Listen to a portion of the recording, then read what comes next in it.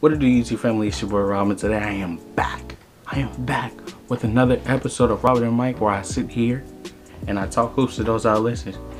It's that simple. That's all I do. And I hope people watch, hope people leave a like and subscribe from it. Leave an opinion, their takes or whatever off the video when yeah. But today, you already know I had to talk about the game. I haven't done this in a while, but this game got to me the most because I felt like I really watched this game and I really, you know, I really watched it. And I got three points to make. But before I get into those points, you already know what I gotta do. How have you been? Talk to me. I'm listening. Oh wait, that's the wrong. I'm listening. Talk to me. I hope all has been good with you and yours. I've been okay, you know, living my best life. Trying to build something great, like always. But let's get into it, you know what I mean? I have three points, like I said. One. What should I start with? Yeah. Uh, three points. First point, I would like to congratulate the Clippers on their first time getting out the second round in 50 years, they said. What? Congratulations to them. And shout out to that whole, this whole Clippers team, organization, like what they did today was great. Like, I want to give shout out to Paul George, Terrence Mann, Reggie Jackson, Pat Bev, Bev. I'm getting credit to Pat Patrick Beverley. I'm giving credit to Patrick Beverley. Reggie Jackson. But yeah, shout out to them, man. They did it today. They did it. They hit their shots. They were down by like 24, 26 going into the half. 76 to 50.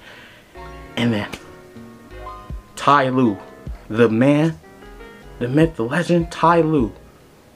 I think he, I think what he did will go underappreciated to a lot of fans. I only look at the stats and stuff, but the, the adjustment he made going into half, cooking, I don't want to say cooking, but exposing Rudy Gobert was phenomenal. Uh, he just put, I said this on Twitter. I say a lot of stuff on Twitter. Y'all gotta follow me. Uh, he just put Rudy Gobert in an uncomfortable situation for himself. He had him moving, always moving. And when there would be a drive by, whether it's Paul George, Reggie Jackson, they would kick it to that corner that the he was on, or they would kick it to the person on the wing, or close to the top of the key right there, and they would just kick, kick, open three, because Rudy Gobert's not gonna contest it. He's gonna act like it, fake it, and then. And that was Terrence Mann. 39 points, 40 points, Terrence? 40 points? You ain't never done that in your life. And today you dropped 39, 40 points, bro. Congrats to you, man.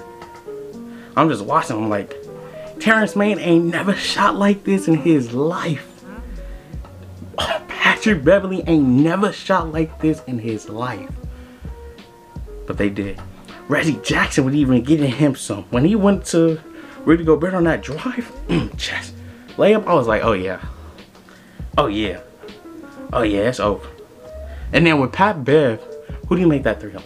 I think he made that three on, was it on Rudy Gobert? It was on Rudy Gobert or Bogdan Bogdanovic. I was like, game is over. It's over. It's wraps right there. Cause Pat, Patrick really ain't never hooped like that. So I'm like, yeah, that's game. what was my second point? Um,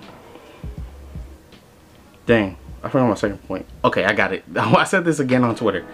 I'm I'm disappointed that the Jazz lost because I still think they should have won this series, especially when Kawhi went out. But I'm not surprised. Right? What I mean by I'm not surprised is this is the same team that blew a 3-1 lead to the Nuggets. And it comes down to the same thing. I think we're not throwing enough like social media, NBA, Twitter, all that stuff. They're not putting enough focus on Quin Snyder. And tonight was Quin Snyder. I don't know if Rudy Gobert has some type of like uh, info on Quin or whatever. But there was no reason he should have stayed in the game. I was genuinely surprised that they did not go Mike Conley, Donovan Mitchell, Royce, Joe Ingles, and Bogdan Bogdanovic. I would have been fine with that team. Why? Because that gives Donovan Mitchell the ability to drive and kick if he has to. You can't do that with Rudy Gobert right there. So you clogging up the paint when y'all need threes. That didn't make any sense. Yes, Rudy Gobert was rebounding over people in some situations, get offensive rebounds. And like, yeah, that's cool. But you're losing still and you're not getting any momentum. So what are you doing? Was going, that, I don't feel like enough people were talking about that. And I noticed that. Why? Because I'm the best in the game and that's facts. Uh, I did say I had three points though, but I don't remember my third point. I'm hot. It's hot, y'all. What was my third point? Maybe we'll tell you to subscribe to the channel. Like always, trying to build something great over here. And we cannot do that without y'all help. But let me remember my third point real quick. Hold on. Oh. So, okay. Yep, there we go. So, we got the Suns versus the Clippers on Sunday. Seven game series. Who do I have? I truly don't know. Both teams are without one of their best players. Suns without Chris Paul. More than likely, 14 days haven't passed since his COVID protocol thing. And Kawhi Leonard, ACL injury. Me personally, I'm not risking that for a game one, nor a game two. Because I don't want the same thing to happen to him. That happened to KD to happen to Kawhi, so I'm not going to play him.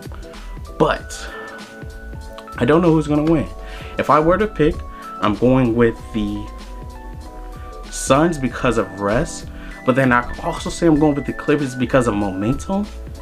So it's a really balanced thing. It's going to come down to role players like always. And, you know, what do I see different in the Jazz than the Suns, right? Like, what's the difference between them? I myself. And it's like, it's not different Booker and Donovan. Those are both two great players. Mike Conley, CP3. CP3, of course, better. I'm not comparing but like, you know, and the secondary ball handler. Um, DeAndre Ayton, DeAndre Ayton, and what's his name? Rudy Gobert. That's the same. So what is it? I don't know. It's the role players. It gotta be the role players. The bench. Not even the bench, I can say, because the bench. Elfrid Payton will come in. Cam Johnson. But they had. No. This is a really good series. It's gonna be. It may be a star game. It may be a star series. I'm excited to watch the game one. It's definitely gonna be a star series. Who wins it? I don't know. I gotta give y'all a guess though. I'm going to go with the Suns. I'm going to go with the Suns because I like their chances of getting Chris Paul back in time of further for the first round than I do Kawhi. I honestly think the way they made the injury sound, he could be out for the rest of the season, rest of the playoffs. Because like the moment I hear ACL, Achilles, I'm like, sit him. It's over. Same thing AD, like just sit him. It's over. Don't play him. It sucks. It's unfortunate. Injuries happen. It, it sucks. But I rather. Oh nah, I can't do that. No Kawhi, he he not gonna do that to himself. More than likely. So yeah, I'm, I'm gonna go with the Suns. Devin Booker's rested. He gonna put the team on his back while CP3 is out. Call me crazy. 36 first game. 36 on 36 on 30% from three and 45% from the field. No, no, no, not even 45. Yeah, 45% from the field. 42. 42 to 45% from the field. Devin Booker 36. He gonna go crazy game one. Home game. We already know how they play at home. They don't they lose their mind. And yeah, I think I hit all three points. Clippers, Jazz, and the next series.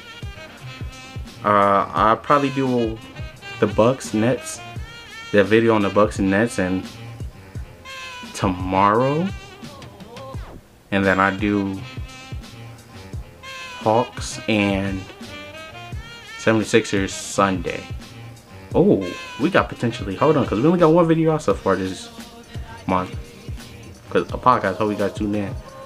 Oh, we got this video. That's two, three, four. Pay me. Four videos, and then I got other stuff in the work that y'all don't. It's still. I hope you guys enjoyed the. I forgot what my own show is called. Uh, talk your shit. It's I got that coming. I got two episodes of that in the works. Yeah, that's four videos. Hold on. You guys gotta subscribe. If you haven't seen this, subscribe to the channel, leave a like. Uh, I think I got everything done in about 11 minutes. Do I want to drag it on? No, I think I hit every part. Actually, this is gonna be some part. Most solid. Um, yeah, yeah. Let me let me if you if you reach this end of the video, let me in let me let me let you in on something. Our view count is low, right? We don't generate the amount of viewers that I wish we would be generating right now. But I know if I keep working, if me keep going, keep sharing these places, that we gonna get somewhere, you know, hopefully sooner than later. And I'm just gonna keep working every day till I get there. And I hope you guys that subscribe, watch the videos and not subscribe, like you come on the journey with us. It's gonna be a fun one. And yeah, once I get once we get to 50 subscribers, because we stuck at 44. I think we have 40, 44, 45, I forgot. But we stuck right there. Once we get to 50, got a surprise video hopefully I want to do for thank you and yeah now we're so, I think I got every point. and since if you got to this point and you're not subscribed I don't want to say anything negative but I, I, I was gonna flick it off but I'm like peace peace